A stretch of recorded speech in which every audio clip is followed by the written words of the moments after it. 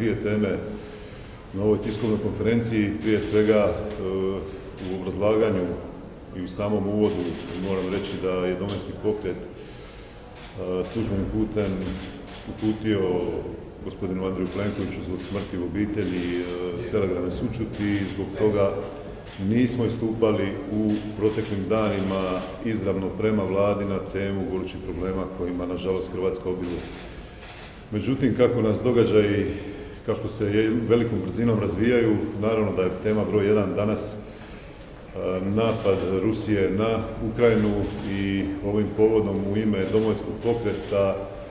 iskazujemo jasnu solidarnost sa Republikom Ukrajinom, ukrajinskim narodom, izražavajući nadu da će ovaj sukob trajati što je moguće kraće i da će posljedice biti, nadamo se, što je moguće manje, kako one materijalne, tako i one u ljudskim žrtvama. E, hrvatsku vladu e, pozivamo da što je moguće hitnije reagira u smislu donošenja zakonskih e, akata koje će pripremiti situaciju za prihvat mogućih i očekivanih prognanika s područja Ukrajine, ali jednako tako da pripremi sve druge resurse koje se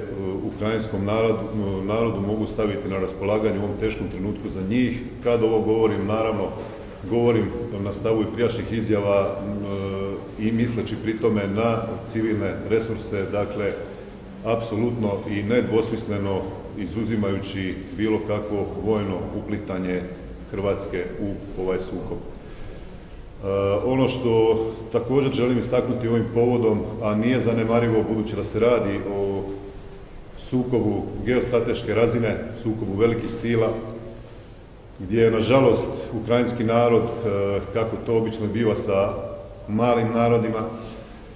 iako govorimo naravno o 44 milijuna stanovnika, što Ukrajinu do duše i ne čini tako malom nacijom, ali kad se divovi sukobljavaju, ona to ipak je u ovim okolnostima. E, moram reći da će i da je, nažalost, Ukrajina tu kolaterala zbog tih geostrateških sukoba na razini cijelog planeta. Iz aspekta hrvatske politike i refleksije ovog sukoba na Hrvatsku, mislim da su e, ponajprije službe i VONS e, pod hitno moraju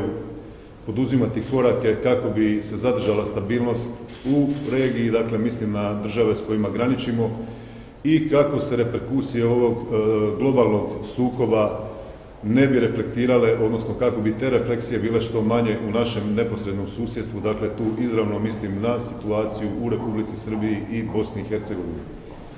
To je od vitalne važnosti za Republiku Hrvatsku i ja se nadam da su takvi koraci poduzimani i da će biti poduzeti u vremenima koja su pred nama. Iz aspekta zbrinjavanja prelazim polako i na drugu temu koja je još uvijek u našim unutarnjim okvirima aktualna. Dakle, e, iz aspekta osiguravanja smještenih kapaciteta i prihvata prognanika, naravno da je to nešto na čemu moramo raditi, međutim ja moram se vratiti na domaći teritorij iskazati svoju, svoje velike dvojbe da će tome biti tako, jer nažalost vlada koja u dvije godine gotovo nije uspjela reagirati na Banovini u potresu za svoje građane, ne, ne znam kako će pokazati operativne sposobnosti koje očito manjkaju u ovakvoj situaciji prihvata mogućih prognanika. S jedne strane, s druge strane, aktualna tema je e, rekonstrukcija vlade koja pod mišljenju nas iz domovinskog pokreta apsolutno izlišna stvar, stvar prošlosti. Moramo konstatirati da je DORH e, spasio praktično jednu trećinu vlade da ne završi iza rešetaka. E, po jednom samo postupku, po drugom postupku sami ste izvijestili 27 visoko rangiranih dužnosnika e, protiv koje su pokrenute optužnice, doveli su aktualnu situaciju sa izvršnom vlasti u Hrvatskoj do apsurda, dakle da e, praktično cijela vlada mora drhtati i strahovati tko je idući na popisu kom će biti otvorena vrata Remetinca. Jedini izlaz iz te situacije e, su naravno novi izbori, e,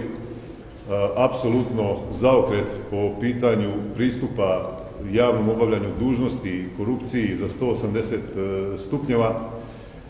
nažalost, svjedočimo i ponovit ću onu svoju staru tezu, svaki dan, bojim se sada već i svaka minuta sa ovakvom vladom za Hrvatsku je izgubljena minuta i izgubljen dan. Toliko od nas, Lijepo, imaš ti nešto?